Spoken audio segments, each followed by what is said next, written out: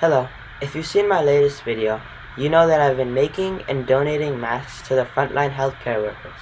The sewing machine that I use to do so, the Brother SE600, also has an embroidery machine option. This embroidery machine comes with a lot of pre-built designs and pre-made designs loaded onto it, but after a certain point you want to use your own designs. So, two days ago, I began the ultimate search for free software that works on Mac that can easily digitize and up and create um, embroidery machine file form files in the file format.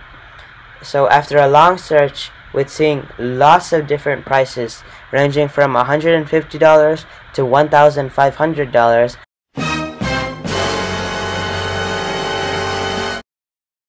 I finally found the perfect option which is completely free uses Inkscape, which by itself is just a vector art software, but we connect it with the Inkstitch plugin, which will allow us to export to different um, embroidery machine file formats. So, in this video, I'm going to be going over how to download Inkscape, how to use the Inkstitch plugin, how to and how to connect the Inkstitch plugin, of course, and then how and then I'll be showing you how to create an embroidery with just a file downloaded off the internet. I won't be showing you how to actually put this on your machine, but if that's a requested topic, then I'll be doing another video on that shortly. On a side note, if you would like to help my brother and I on our endeavors to donating and helping out those in need during this crisis, please visit our Etsy shop, where we've allocated a portion of our production to to commercial sales so that we can raise funds and continue doing so and with like the materials and everything. All help will be great, greatly appreciated. Thank you and hope you enjoy this video.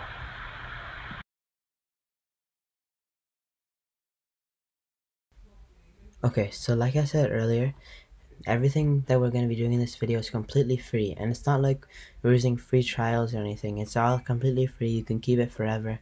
And all of this works well. And it's not like cheating or anything. It's all like, it's just all free software in general. So the first one that we're going to be using is called Inkscape. So this is a general art software. It's for vector art. And so you're going to want to go to inkscape.org. This will be linked in the description. And you, you're going to want to press the download now button. So the download process for Inkscape is pretty straightforward. It's cross-platform. So it works fine and it's pretty straightforward. It's like every other app. But the next thing we're going to do it's a little bit less straightforward but it's still pretty simple. So but i'll just walk through that. Okay so once you've got inkscape installed we're going to install the next thing. It's called inkstitch. So you press this download Ink inkstitch but ink stitch button. It'll take you to the release page.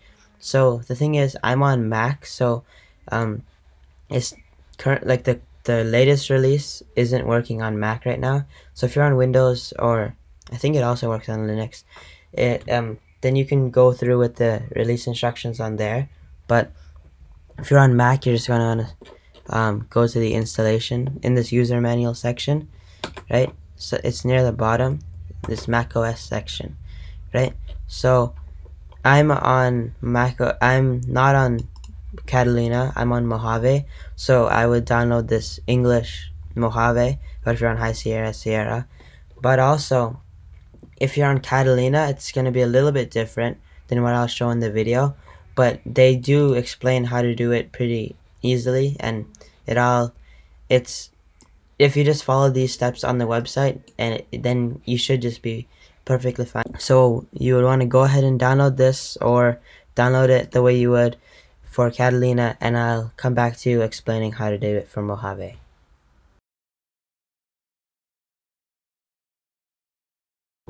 Okay, so once you've downloaded it from the website, it'll download as a tar.gz file. Just um, double click it to open it and archive utility will like unzip it. So then if you go inside of it, you'll have this folder. So this just has all the stuff that we just downloaded. Then we want to go to our applications folder and we'll find where Inkscape is. Right click on it and press show package contents.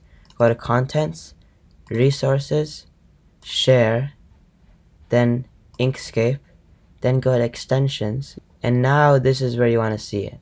So, um, so I've already installed it but what you're gonna what you're gonna want to do is you're gonna you'll take everything from here you'll scroll down to the bottom and drag all of this into here so now this all of this stuff gets added to here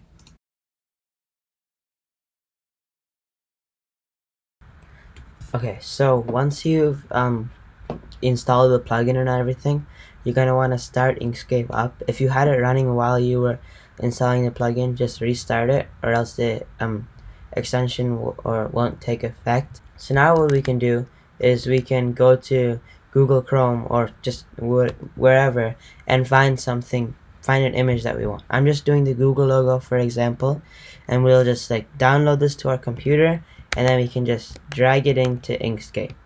So I've already done that and you can see it right here. And when you import it just keep all the same basic options. So just press OK when the pop-up comes up. So what I'll do is I'll just scale this down. If you were actually embroidering this I'm not going to be doing this on the actual machine but if you were you would want to measure it and see how it is. Like my machine has a maximum of 100 um 100 width and height. So 154 millimeters is will not do. So I'd have to make this smaller but that's not really the point right now. So what I'm gonna do is we've imported this. But if you notice we can't really do anything with it. The problem is we just imported like a JPEG image but we need to somehow make it into a like a vector graphic or yeah just a vector graphic so that Inkstitch can read it. Okay so what you're gonna do in order to counteract that is you'll click on this. Then you won't be able to see this because it's in the menu but you're gonna go to path and then press trace bitmap. So now you'll see this menu pop up. So I've already adjusted some of the values but if I press update you can see oh no this isn't actually gonna work out. That's because these have multiple colors so I can change some of it Oh, we can also use coloring right? So it's adjusting to some one. This is color two. So one, two, three, four colors. So I said four. But it's not fully work. Um, I said three. You're gonna set at least five colors soon because um. Okay, I guess seven. So it's kind of like trial and error, but I would assume five because you also have the white background. But you can see this is kind of grainy. Like we don't really want that that much. So we can see how we can adjust that. Maybe smoothing corners. I didn't really see a big difference, but maybe if we increase the threshold here to like three. Oh, never mind. I lied. That's okay. Then optimize so you can just play around with these tools. I think for now I'll just be fine with this. But mm, if you guys want to, you can look more into this. Then you press OK. So now you see we've gotten this thing. We still need to delete the original image. So I'll just drag this out of the way for now. And then delete delete it. So now you can see I have I can zoom in as much as I can. But just being able to zoom in doesn't mean anything if we can't do our um, embroidery stuff.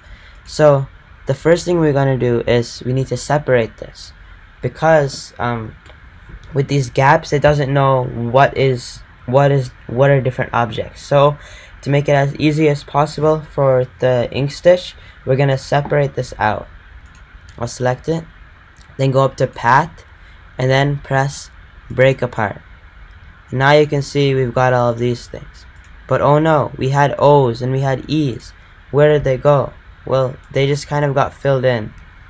Okay, so what I'm gonna do is I'm going to open the layers panel. So this is I'm kind I might be overcomplicating this a little bit, but um I'm going to just change the colors of all of the things that were inside of here that were that were once inside. I'll just change them to something that you can easily see, like pink, or really any color other than this black. So what I'm gonna do is then I'll open the layers panel, which is this. You can see we already have this layer 1 here, but we want to make, make a new layer. So I'll add the layer, layer 2, and we want this to be above the current layer. So now I'm going to select all three of these, not this one because this one's already above. Let's check this, yeah. Then I'm going to select these three, oh, I mean, except for this, these three. I'll right click on it and I'll press move to layer, layer 2. So now you see these are all on top. So if I just replace the position of this, and not necessarily accurately, this for real, which this accurately as possible. Um, sorry, but I'm just going to kind of machine, and then just go back to the same position as before. Okay. Now what we can do is I can select this, and I can select this, and I'll press path, and I'll press difference. I'll do So now you can see we've got our shapes, we've got everything we want. So what's stopping us from doing it? Well, nothing currently, but on our embroidery machines, we can do different colors. Like we can make this a different color, this a different color, and that's that, that's what the Google logo is like in real life too. So what I'm going to do is I'm going to tell the software that these are different colors. So let's select the first one, and I'll make it a blue color. It doesn't have to be the exact right blue, but it has to be a, it doesn't even have to be a blue color, but basically the relations need to be the same. This G is going to be the same color as this one, so it needs to be the exact same color as this one. Like if this was pink, then this would have to be the exact same thing. The same thing. Now, this is red, I'm just going to put this in, you don't need to do color exactly, yellow and green, so it's yellow and it's green. So those are the exact same colors, because the truth is, in the embroidery machine, I can put in any color I want when it's asking me to do the blue. I can put in any color I want when it's asking me for to do the red. So at that time, I would put in the proper red. I would put in the proper yellow. I would put in the proper green. I would put in the proper blue. So now we've got our whole document pretty much sorted out. Now I'm going to go over how you can use Inkstitch to actually make this into an embroidery design.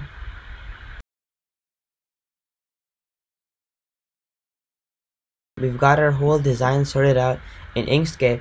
So now we're going to use the Inkstitch plugin or extension, whatever you want to call it, to get this um, actually finalized and working. So the first thing you want to do is params. So when you open up params, it'll start up a new thing down here. And you, you should see that sometimes, yeah, it'll open up this, um, it's going to open up a preview window here, showing you how the how the embroidery machine will be doing this. So I'll press start, just watch it go through. You can see how it embroiders the design. So one thing that's kind of troubling me is how it's not doing the colors at the same time, but that's not really a big deal. Another thing is it's not really doing the connection lines, but that's also not too big of a deal. So this is all good, but now you can see in here, this is all the stuff you can mess around with. So if you were doing different things like straight lines, you'll see a lot more menus up here. But right now, since we're just doing this, it's got autofill. So you can see the angle of the lines, and now when I start, start, start, start, you can see it's going at 45 degree angle. It's going at 45 degree angle, when before it was going at zero. I don't really care. I'm just going to keep it back at 0. I'm not really sure if it makes a big difference. I think it's more for just the final look of it. So you can see between these stitches, right? There's a little bit of a gap because it's kind of just going up and down here. So that's the spacing between rows. So if I wanted the spacing to be bigger, for example, if I wanted to reduce the number of stitches here, I could increase the spacing between the rows to maybe 0.5. This isn't going to look good, but you can see how it looks. Now you can see it's actually pretty visible the spaces between the rows. But you can see we've also got 3020 so we almost cut it by half. Messes with the look of your design and how it works. There's also other things here that you can see how they work with but for now I'm just going to set this back to 0.25 I like the original things how they were. And if I just press start again yeah. And you can change the speed too to make it go faster or slower in the simulation. But so that's so this is good. So if I'm if I like how these settings are and everything is good, I'm just gonna press apply and quit. So now I'm back into the Inkscape. And what I can do is I can go to extensions, Inkstitch, Now we'll press embroider. So this is our final menu. So this is the type this is the file format that you're gonna do. So PES, PEC, these are the brother these are the brother embroidery formats. So I have the brother SE600. So these two files work with that but obviously, whichever machine you have or file format your machine uses, this will um, work out. So um, that and then this directory, I'll explain in a second. And here you can see live preview will show you right here what it will kind of look like. So you can just check one more time to see if you like the way your stitches are coming out. So now this directory, if you hover over it, it'll say leave blank to save in the Inkscape's extension directory. If you don't remember, that was where our um, that was where we put in the extensions, which I'll show you in a second. So I'm just gonna save it to there and I'll just call it and I'll just press apply once that's done you can just wait a little bit and if you go back to the extensions folder you should find it called embroidery.pes or whatever file type you stored it as. So I have the StitchBuddy software on my computer. This is optional for this. So but all this lets me do is it lets me see it and but like I was mentioning earlier right um this is 150 millimeters long so I can't actually place this inside of the um inside of the brother um so that's gonna be it for this video hopefully you guys learned a little bit about how to do this in a much more affordable way with literally no cost and it'll work for everyone because it's cross-platform so hopefully you guys have learned something if you think someone else can benefit from this please be sure to share it also, if even if they won't benefit from it, share it with them. Annoy your friends. Um, like the video if you liked it. Dislike if you didn't, but preferably like it. Subscribe and comment. Um, and don't don't don't forget to check out the Etsy shop to help support my brother and I support the uh, frontline workers. It's umakerz.etsy.com. Thank you.